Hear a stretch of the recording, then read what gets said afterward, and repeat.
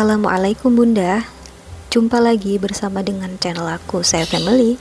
Channel seputaran keseharian ibu rumah tangga Di rumah kontrakan Yang hidup di perantauan Kalimantan. Kira-kira Ngapain aja ya aku hari ini Bunda? Yuk disimak videonya Sampai habis. Jangan di skip dulu ya. Terima kasih Oke teman-teman dan bunda online semuanya share video ataupun kegiatan aktivitas hari ini ya. Dan ini dia aku tadi di awal video udah siapin bahan-bahan untuk masak di hari Sabtu pagi ini. Oke ini ada sawi terus wortel dan ini ada daun salam serai dan juga lengkuas. Terus ada bumbu untuk masak si tulang sapinya jadi mau diungkep ya. Terus ada udang rebun ini untuk tumis-tumis wortel nanti sama sawinya. Dan ini si tulang yang kemarin mau dimasak bareng daging tapi nggak jadi ya karena wajannya nggak cukup. Terus untuk bumbu sawi dan juga wortelnya ini udah diiris-iris ya selanjutnya ini aku mau ngehalusin dulu untuk bumbu tulang atau balungannya. Oke ini aku colokin dulu si choppernya. Sebelumnya nih tadi udah aku tambahkan air sebelum dicoper ya. Dan ini dikira-kira aja ya. Kayaknya udah halus dan udah aku cabut. Selanjutnya ini aku ambil roti tawar sama kental manis sama topping juga. Jadi mau bikin cemilan dulu nih ya pagi-pagi sambil nunggu si tulangan atau balungannya nanti lembut. Karena kayaknya butuh waktu beberapa jam gitu ya. Jadi masakan hari ini mungkin ada yang agak lama. Jadi kita tunggu sambil ngeteh sama ngopi dulu. Nah ini Pak Su request minta bikinin teh susu ya. Jadi aku bikin beda versi hari ini minumannya. Dan aku tadi udah ambil roti kurang lebih 4 lembar ya. Ini aku panasin dulu margarinnya. Setelah itu aku panggang atau aku bakar rotinya. Nah kalau udah mulai kering jangan lupa dibalik ya. Sekali aja ngebaliknya Oke, ini kayaknya udah langsung aja ke roti yang selanjutnya. Ini tadi sempat aku olesin juga biar rata margarinnya, karena tadi ada yang nggak rata gitu kan. Karena juga tinggal sedikit tuh margarinnya. Nah itu rotinya udah kering. Nah ini agak terakhiran karena tadi tuh teksturnya lebih tebal ya dan agak lama gitu keringnya. Oke udah selesai. Dan langsung aja ini ditaburin per toppingan toppingnya masih sama ya karena yang ada di rumah ini.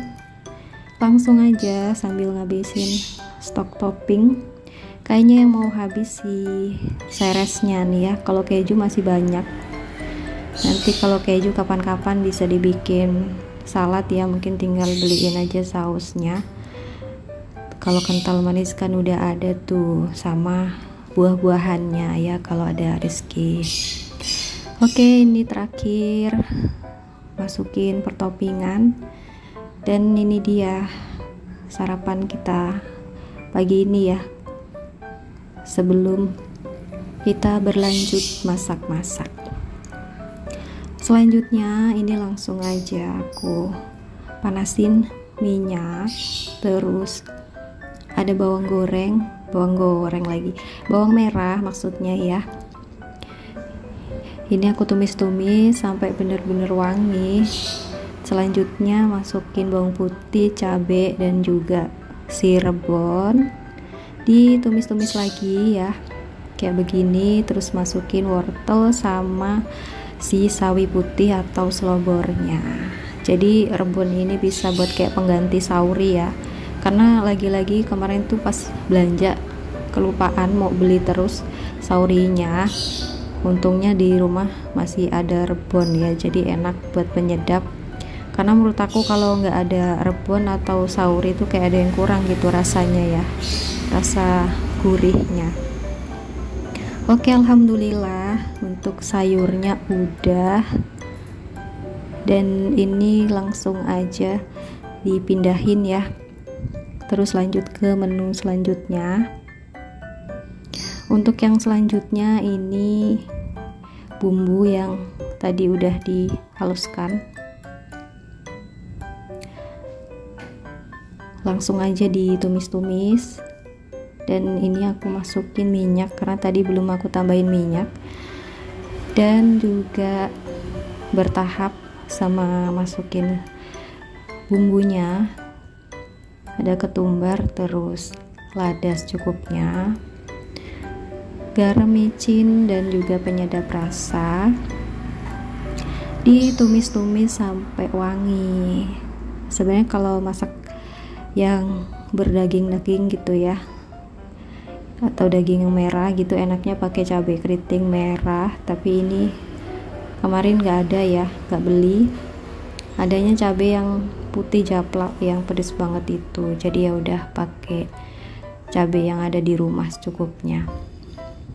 Nah ini udah dimasukin daun salam sama serai dan juga lengkuas diaduk-aduk.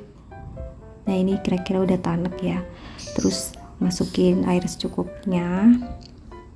Setelah ini langsung aja masukin si tulang atau balungan yang tadi udah dicuci bersih. Tadi ini udah aku cuci lagi setelah udah mencair ya. Karena tadi kalau pas lagi beku dicuci juga kan nggak berpengaruh gitu karena masih beku. Takutnya kan kotorannya belum cair. Jadi tadi pas cair aku cuci lagi baru dimasukin. Oke ternyata tuh ini juga nggak muat tempatnya jadi ya udah ini tadi minta bantu Pak Su untuk megangin karena takut numplek ya. Dan ya kayak begini deh alhasil. Nggak tahu nih jadinya nanti apa kalau mateng. Semoga sih tetap enak ya. Oke ini tinggal diungkap kurang lebih sekitar 1 sampai 2 jaman mungkin ya. Karena kalau ini kan campur. Kalau daging aja sih sebenarnya satu jam mudah lembut teksturnya tapi karena ini campur ya ada balungan mudanya kayaknya juga lebih lama. Dan ini singkat videonya pas sudah matang ya. Tadi tuh hampir gosong karena aku tinggal nonton HP jadinya kayak begini dan uh, jadi kayak tulang dibakar gitu ya tapi enak alhamdulillah. Jadi untuk sarapan. Dan setelah ini kita mau sarapan dulu. Ini tadi Pasu juga sempat keluar sebentar nyuci motor dan ini udah pulang.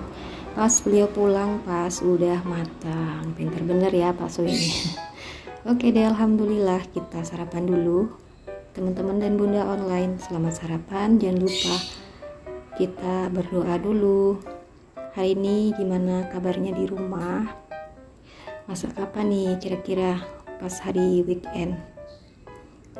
Kalian uh, mah, makan di rumah atau di luar? Coba komen ya di kolom komentar. Nah ini tadi tuh kita lagi ngobrol-ngobrol sambil makan. Kayaknya enak dibikin berkuah gitu ya. Jadi alhasil setelah selesai makan kita masak lagi si balungannya karena teksturnya itu kurang lembut atau halus. Jadi kita masak berkuah. Jadi setelah ini kita masak lagi. Dan nanti aku liatin hasil masakan berkuahnya. Oke alhamdulillah udah selesai. Dan ini dia hasil masakan. Setelah tadi nggak jadi dioseng atau diungkep ya. Oke teman-teman dan bunda online terima kasih. Saya pamit undur diri. Mohon maaf banyak salah kekurangan saya akhiri. Wassalamualaikum warahmatullahi wabarakatuh. Sampai ketemu di video selanjutnya